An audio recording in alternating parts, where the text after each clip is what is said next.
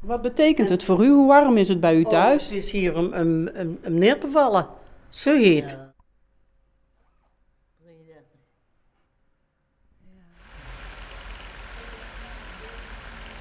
En dan gaan wij naar beneden om een beetje te bekomen, omdat het hier veel te warm is. Fijn dat we die kans hebben. En de laatste keer ben ik wel een beetje boos geworden. En had dat effect? Ja, want toen hebben ze me doorverbonden naar eh, een ander kantoor. En toen eh, zijn er mannen komen kijken.